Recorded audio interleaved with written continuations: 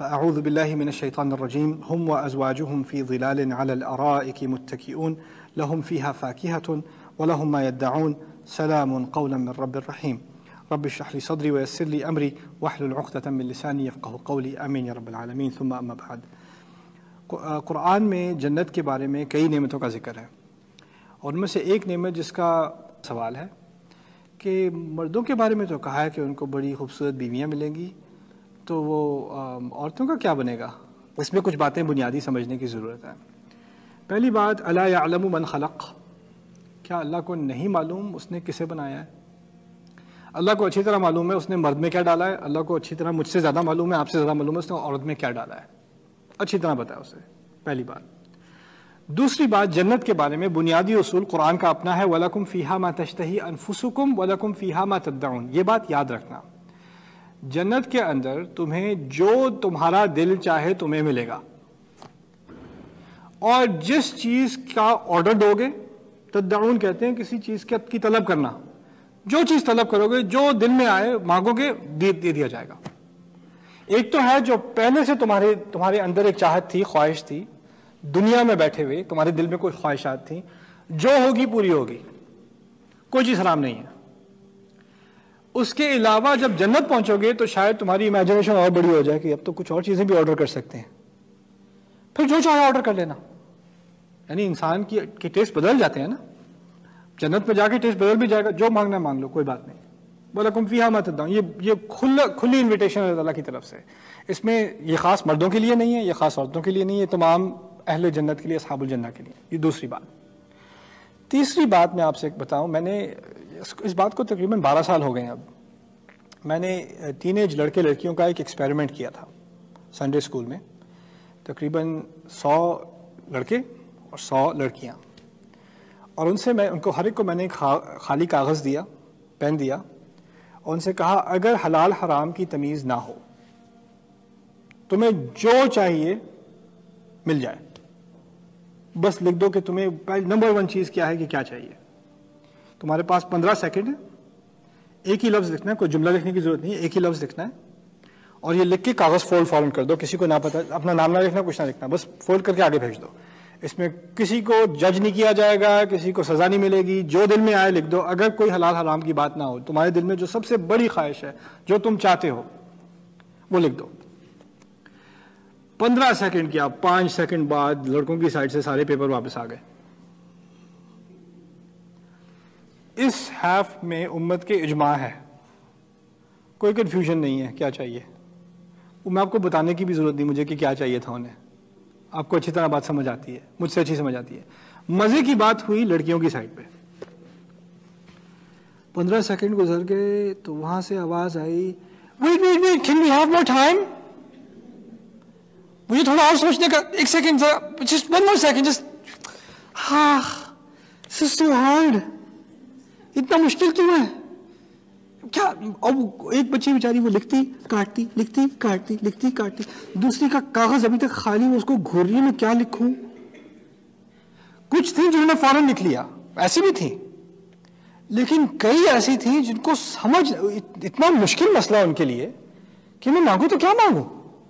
क्या चाहिए मुझे? अल्लाह ताला ने इंसान को, मर्द को घोड़े की तरह बनाया। घोड़े पे वैसे लगाते ना ब्लाइंडर उसको एक ही चीज़ नज़र आती है। इसीलिए कुरान ने जब मर्द की ख्वाहिशात की लिस्ट बना दी ना और ताला ने मर्द की लिस्ट बना दी। जुयन लिन्नास हुब्बु शहावाति मिन निसा वल बनीन वल हर्थ गली मुक गई। खत्म बात। मर्दों के लिए मर्दों के लिए औरतों से चाह, चाहत बच्चे एक खास उम्र में उसको बेटे चाहिए उसको इन्वेस्टमेंट चाहिए सेविंग्स चाहिए करातीरी मुकंतरा बिन फिदा गोल्ड सिल्वर चाहिए उसको सोना चांदी चाहिए। खैल मुसवमा उसको बड़े आला आलीशान घोड़े की ज़रूरत है। अब घोड़े ना हो हॉर्स ना हो तो हॉर्स पावर तो हो। फरारी हो बीएमडब्ल्यू हो मर्सिडीज हो ठीक तरह की गाड़ी हो यार। अलखैल मुसवमा वल अनाम इसके अलावा उसके पास कुरान ने तो कह दिया, गायें, बकरियाँ। कहने का मकसद क्या? है इन्वेस्टमेंट्स हों। जॉब नहीं करनी, दुकान भी खोलनी है बिज़नेस चलाना है, ताकि बैठ के आराम से पैसे आते रहे। वो अनाम है। वल हर्स, और हर साल वो गाय कहाँ काम करती है? खेत में। खेत में काम करती है, खेती उगती है, खेती के पैसे बनते हैं। हर साल बोनस आता रहे। यही उसकी ख्वाहिश है। इसी पे वो मेहनत करता है। मज़े की बात यह है कि कुरान में औरतों के लिए कोई लिस्ट नहीं बनाई। औरतों को नंबर वन ये चाहिए नंबर टू ये नंबर थ्री ना, नहीं है। और मेरे नज़दीक, जहाँ तक मुझे समझ में आया, मुझे बहुत कम समझ है इस बारे में, क्योंकि मैं उस मखलूक में से नहीं हूँ। लेकिन मेरी भी तीन बहनें हैं, चार बेटियाँ हैं अंदाज़ा हो जाता है इंसान को कुछ ना कुछ। बच्चियों में बहुत डिवर्सिटी है। बच्ची के नाते भी। कुछ बच्चियों में स्पोर्ट्स की तरफ़ कुछ बच्चियों में यू नो जेवर की तरफ़ मेकअप की तरफ़, कुछ बच्चियों में कहानियों की तरफ़, बच्चे शुरू से बहुत ज़्यादा डिवर्सिटी है बच्चों। में लड़के थोड़ी बहुत डिफरेंसेस हैं, लेकिन कम है। जब बच्चे बच्चे बच्चियाँ एक खास उम्र पे पहुँचते हैं, कुछ औरतें ऐसी हैं जिनकी सबसे बड़ी ख्वाहिश है माँ बनना। कुछ और हैं जिनको मर्दों से दिलचस्पी है, ठीक है, वो भी हैं। कुछ और हैं जिनको किसी चीज़ से बस काम से दिलचस्पी है। I don't want to get married मैंने नहीं शादी करनी, मुझे नहीं ज़रूरत इस चीज़ की। बिल्कुल नहीं चाहिए मुझे। औरतों के यहाँ एक मोटिवेशन नहीं है। और मैं तो कहता हूँ, एक औरत की अपनी ज़िंदगी में चेंज होती रहती है बात। शायद शादी से पहले उसकी सबसे बड़ी ख्वाहिश थी कि मैं इससे शादी कर लूँ। शादी के बाद बच्चा हुआ, वो मर्द जो है वो इनविजिबल हो गया। बच्चा, मन नज़र ही नहीं आता उसे बच्चा ही नज़र आता है। मर्द कहेगा भी, कहीं डिनर करने चलते नहीं बेबी जरा तो ये अल्लाह ताला ने, अल्लाह ताला की रहमत है। मैं ये कहना चाह रहा हूँ, जहाँ तक मेरी बात, मुझे समझ में आई है, आपका मेरी बात से इतफाक करना लाजमी नहीं है। ये मेरा अपना इस्तेमाल है, मेरा अपना एनालिसिस है। जहाँ तक मुझे समझ में आई है, मर्दों की ख्वाहिशात आम तौर पर एक ही लिस्ट है। उसमें कोई ख़ास वेरिएशन नहीं है। औरतों का मामला बहुत ज़्यादा इससे मज़ीद कॉम्प्लेक्स है। अगर अल्लाह ताला ने लिस्ट दी होती, कुछ औरतों के लिए अप्लाई होती, कुछ औरतें कहती, इससे तो मेरा कोई फ़ायदा नहीं अल्लाह ताला ने ज़िक्र ही नहीं किया कि औरतों को क्या मिलना है ख़ास जन्नत में। लेकिन इसका भी एक, फिर औरतों को, हमारी बहनों को, माओ को एहसास होता है कि शायद कुरान ने हमसे कुछ ज़्यादा की, हमारे बारे में कुछ कहा ही नहीं।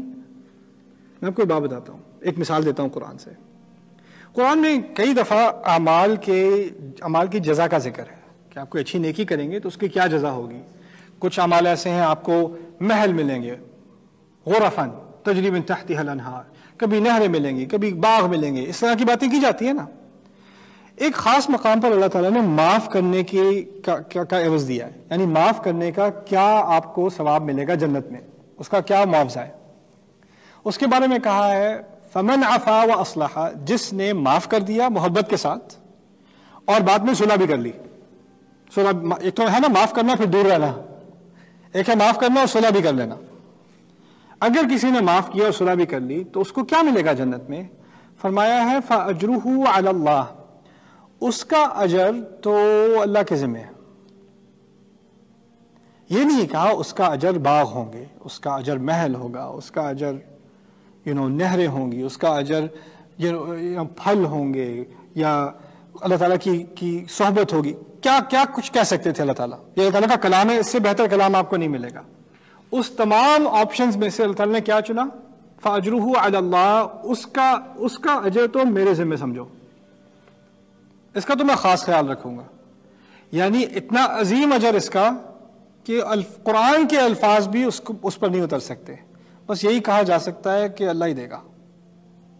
अल्लाह खुद कह रहा है, बस तुम इंतज़ार करो देखने में तुम्हारे करता क्या हूँ? तुम्हारे तो मज़े हो गए। तुम्हारे लिए सरप्राइज़ है। मैं क्या कहना चाह रहा हूँ? जब औरत को उसके उसकी, जजा का ख़ास ज़िक्र नहीं किया फ़जरूहा अल्लाह उसका अजर तो अल्लाह क्या है। अल्लाह ने उसको एक मिस्ट्री बनाया है जिसको अल्लाह ताला से लॉ है जिसको अल्लाह से मोहब्बत है उसको तो इस बारे में और खुश होना चाहिए कि क्या देगा खुदा? क्या देगा? And I find one thing girls love surprises you know अजरू हुआ अल्लाह फिर यहाँ पर इस आयत में आपको बार बार आएगा कि मर्दों को मीनों खूबसूरत बीवियाँ मिलेंगी, उनकी अजवाज होंगी मकसूरात फ़िलख़ियाम कि वो खैमे में अपने आप को रखेंगी मर्द अपने शोहर के इंतज़ार में, और फिर कासरात तर्फ अपनी नज़रें नीचे किया करेंगी। वो नज़रें नीचे करने का पता क्या क्या क्या बात की जा रही है? जब आदमी की शादी होती है ना, और पहली दफ़ा अपनी बीवी को देखता है, घूंघट उठा के देखता है, बीवी आँखों में आँखें डालती है कि नहीं डालती? उसकी नज़रें नीचे होती हैं शर्मा होती हैं। जी। वो लम्हा दस साल गुजर जाए ना शादी के, पंद्रह साल गुजर जाए, वो वापस नहीं आता। वो गया। लेकिन अंदाज़ा करें, जन्नत की शादी और दुनिया की शादी में ज़मीन आसमान का फ़र्क है। लिटरली ज़मीन आसमान का फ़र्क है। जन्नत की शादी ऐसी है कि हर बार जब मिलेगा तो वैसी ही मुलाकात होगी जैसी पहली दफ़ा थी। हर बार। वो कभी बासी होती ही नहीं। वो रिश्ता कभी पुराना होता ही नहीं। ये जन्नत की एक ख़ास खसूसियत है ख़ास कासिरात तरफ़ तो इसीलिए इस, इसका ज़िक्र कुरान में है कि मर्दों की एक बहुत ख़ास ख्वाहिश होती है। एक ख़ास खुशी होती है उनकी। और उसका ज़िक्र कर दिया अल्लाह ने खुल खुला कर दिया। क्योंकि अल्लाह ने हमें खुद ही बता दिया कि मर्दों की जहनीत ही ऐसी है। उनको बनाया ही इस तरह। उनकी खलकत ही ऐसी है। तो इसलिए वो बात की गई है। इसमें हम, जिस तरह मर्द को औरत के साथ रिलेट करना बहुत मुश्किल है।